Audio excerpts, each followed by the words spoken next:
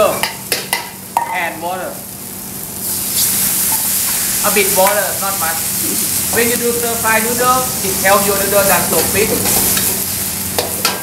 When you do stir fry noodle, try to do with the edges of spatula. Like this, the edges, like circle, and flip it. Your noodle look nice, not mushy. You won't break your noodle, okay?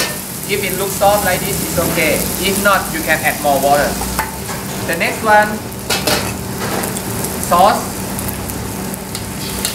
and carrot.